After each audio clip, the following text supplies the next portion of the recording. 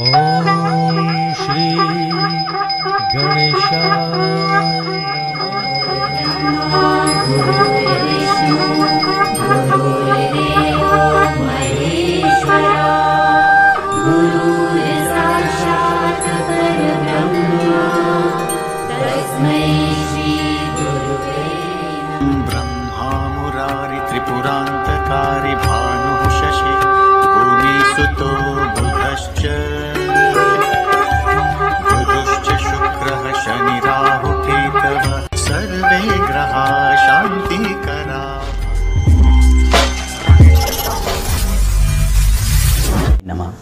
नमस्कार सम्पूर्ण दर्शक भक्तविन्दहरू स्वदेश विदेश र संसारको कुनामा छरिएर बस्नुहुने बुबा आमा दाजुभाइ दिदीबहिनीहरूप्रति म हार्दिक नमन टक्राउँदै आजको विशेष रूपमा यदि तपाईँले यी दुई राशि हुनेहरूले कालो धागो हातमा बाँध्नुभएको छ भने तुरुन्त फुकालेर फालिहाल्नुहोस्। आउँछन् जीवनमा महासङ्कट दुर्घटना चोटपटक धनहानि परिवारमा तनाव सन्तानमा समस्या शिक्षामा समस्या रोग र नेगेटिभ ऊर्जाहरू भूत प्रेतहरूले पास गर्नेछ। त्यो कारणले गर्दा मुख्य रोगबाट यी दुई राशिभित्र तपाईँ पर्नुहुन्छ भने कालो धागो हातमा बाँध्दै हुनुहुन्छ खुट्टामा बाँध्दै हुनुहुन्छ भने परे बस्नुहोला। अनत्य तपाईँको जीवनमा आउँछन् भयङ्कर समस्या है समस्या। जति लाख कोसिस गरे पनि तपाईँले समाधान प्राप्ति गर्नको लागि मुस्किल हुनेछ। र दर्शकबिनहरू यदि तपाईँको हातमा कालो धागो छ र तपाईँ यी दुई राशिभित्र पर्नुहुन्छ भने आजै फाल्नुहोस्। फुकालेर अनथ्य तपाईँले जीवनमा महाभयङ्कर समस्याहरू भोग्नुपर्ने हुन्छ। दर्शकबिनहरू तपाईँ भिडियो कुन देशबाट कुन ठाउँबाट कहाँबाट हेर्दै हुनुहुन्छ कमेन्ट बक्समा कमेन्ट गरिदिन म विनम्र अनुरोध गर्दछु र भिडियोलाई सेयर लाइक कमेन्ट गरिदिनु होला र केही जिज्ञासा भएमा हाम्रो कमेन्ट बक्समा कमेन्ट गरिदिनु होला र नयाँ सालको म तपाईँहरूलाई हार्दिक मङ्गलमय म शुभकामना टक्राउन चाहन्छु। धेरै व्यक्तिलाई आफूलाई सोक र फेसनको हिसाबले पनि हात खुट्टामा कालो धागो बाँध्ने धेरै एउटा परम्परा रहेको छ। र जसको अनुसार आफ्नो अलग अलग कारणले विभिन्न मान्यता अनुसार जोडिएका हुन्छन्। कसैले नजर नलागोस् कसैले प्रेत नलागोस् कसैले भूत नलागोस् कसैले राम्रो देखिनका लागि कसैले फेसनको लागि यहाँ विभिन्न हातमा कालो धागो रातो धागो सेतो धागो विभिन्न चाँदीका छल्लाहरू सुनको चल्लाहरू यी लकेटहरू च्यानोहरू विशेष रूपमा बाँध्ने गरिन्छ। कालो धागो बाँध्नाले नकारात्मक ऊर्जा टाढा हुन्छ भन्ने कुराहरू पनि रहन्छन् र नजर लाग्दैन भन्ने कुराहरू मुख्य रूपमा रहेको छ। त्यो कारणले धेरै व्यक्तिले खुट्टामा दर्द निवारणका लागि दुखाइको निवारणका लागि कालो धागो बाँध्ने गर्छन् र मन पराउने गर्छन्। कालो धागोले मानिस जीवनमा सो बढाउने गर्छ। उनीहरूलाई ब्युटिफुल बनाउने गर्छ। र कई बार मानिसहरूले अन्जानमा सोकमा यस्ता दुई राशि छन् जुन बुझ्दै नबुझिकन कालो धागो बाँध्दछन्।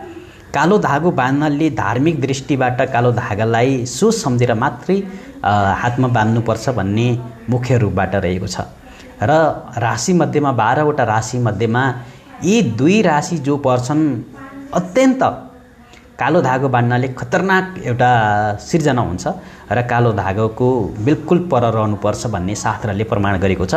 र यसै गरेर सोच सम्झेर मात्रै ज्योतिष शास्त्र अनुसार ज्योतिषको सल्लाह सुझाव अनुसार तब मात्र कालो धागो बाँध्नुहोला भनेर देखिन्छ। कुण्डलीमा पनि भर पर्छ। मैले राशि अनुसार त भने भने साथमा चाहिँ तपाईँको कुण्डलीमा पनि भर पर्ने गर्दछ। र यो तपाईँले कुनै पनि यी दुई राशिभित्र पर्नुहुन्छ भने कालो धागो बाँध्न बेहद अशुभ र अत्यन्तै नराम्रो मानिन्छ। त्यो कारणले कालो धागो कुनै पनि तरहमा तपाईँले लकेटमा हातमा खुट्टामा पैतालामा जहाँसुकै होस् तपाईँले यसलाई नलगाउनु होला कालो धागामा कुनै लकेटहरूसम्म नलगाउनु होला र कालो कपडा पनि यी दुई राशिलाई परै राखिन्छ र सकेसम्म तपाईँको लागि कुण्डलीमा पनि भर पर्छ। अर्को कुरा कालो धागो बाँध्न अनिष्ट घटना घट्ने सङ्केत र चोटपटक दुर्घटना आदिका सङ्केत हुन्। जीवनमा मुस्किलले भरिने गर्छ। कष्टै कष्ट हुन्छ असफलता असफलता प्राप्ति हुन्छ। सफलता कहिल्यै पनि प्राप्ति हुँदैन। यस्ता दुई राशि कुन कुन हुन् आज हामी यसको विषयलाई मुख्य रूपबाट कुरा गर्नेछौँ। दर्शकबिनहरू तपाईँ भिडियोलाई सेयर लाइक कमेन्ट गरेर अगाडि बढिदिनु होला जय माताजी जय श्री हनुमानजी। पहिलो नम्बरमा हो वृश्चिक राशि। यदि तपाईँ वृश्चिक राशिको हुनुहुन्छ भने वृश्चिक राशि हुनेहरूले कहिल्यै पनि कालो धागो हातमा खुट्टामा कहिल्यै पनि बाँध्नु हुँदैन किनकि यसका ग्रह प्रतिनिधि शनि मङ्गलदेव हुन् र मङ्गल सेनापति रातो ग्रह कुर ग्रह हुन् र दर्शकबिनहरू मङ्गल र शनिको अत्यन्त दुश्मनी छ। त्यो कारणले सकेसम्म यहाँहरूले कालो धागो वृश्चिक राशि उनीहरूले बाँध्नुभयो भने तनावी तनाव सङ्कटही सङ्कट भयही भय। तपाईँको प्रेम जीवन वैवाहिक जीवन घर गाडी जग्गा जमिन भूमि सम्पत्ति शिक्षा विभिन्न आफ्नो करियरमा रोग ऋण शत्रुबाट घेरिनुहुनेछ विवादित विषयहरू समयमा पर्नेछन्। तपाईँको लागि विभिन्न समस्याहरू आउनेछन्। त्यो कारणले गर्दा म सम्पूर्ण दर्शकबिनहरूका लागि के भन्छु भने कालो धागो भुलेर पनि वृश्चिक राशिमा जन्म लिनुभएका दर्शकबिनहरूले नबान्नुहोला यसको आधिपत्य ग्रह मङ्गलदेव हुन्। मङ्गल ग्रहलाई धार्मिक मान्यता अनुसार मङ्गलदेव भन्ने गरिन्छ। मङ्गलदेवको रङ अत्यन्त कालो रङ अत्यन्त उनलाई मन पर्दैन र कालो चिजबाट दुश्मनी छ भनेर मङ्गलदेवलाई मान्ने गरिन्छ। यसका राशिका जो वृश्चिक राशिका प्रतिनिधि ग्रह हुन् यी मङ्गलदेव हुन् र यस राशिका व्यक्तिले कालो धागोदेखि दुई मिटर पर बस्दा राम्रो हुन्छ। अन्यथा तपाईँ हरेक समस्या जो मानव जीवनमा नआएका समस्याहरू पनि तपाईँको जीवनमा सिर्जना हुन सक्छन्। त्यो कारणले गर्दाखेरि यदि तपाईँ वृश्चिक राशिको हुनुहुन्छ भने म बिन्ती गर्छु कि यी दुई राशिले जीवनमा बोलेर पनि कालो धागो नबान्नु अन्यथा तपाईँको जीवन सङ्कटले ही सङ्कटले घेरिन सक्छ। अब दर्शकबिनहरू अर्को राशि हो मेष राशि।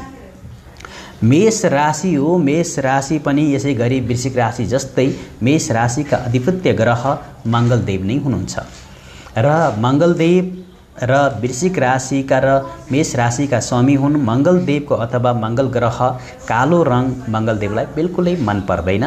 र मङ्गलदेव यदि तपाईँले कालो धागो कालो कपडाहरू लगाउनुहुन्छ भने रुष्ट हुनुहुन्छ रिसाउनुहुन्छ र त्यो कारणले मेष राशि हुनेहरूले पनि भुलेर पनि हातमा खुट्टामा कालो धागो नबान्नु र कालो कपडा नलगाउनु भनेर विश्वास शास्त्रमा प्रमाण गरिएको छ।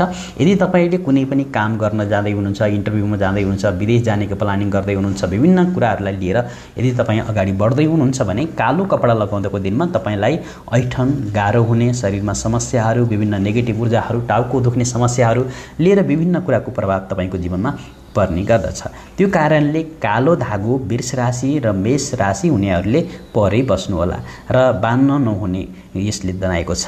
र कुनै पनि लकेटहरू कुनै पनि सिक्रीहरू तपाईँले कालो दागमा नलगाउनुहोस्। जीवनसँग जोडिएका तपाईँलाई एउटा सानो चोटपटक लाग्नेछ भने त्यहाँ ठुलो चोटपटक लाग्नेछ।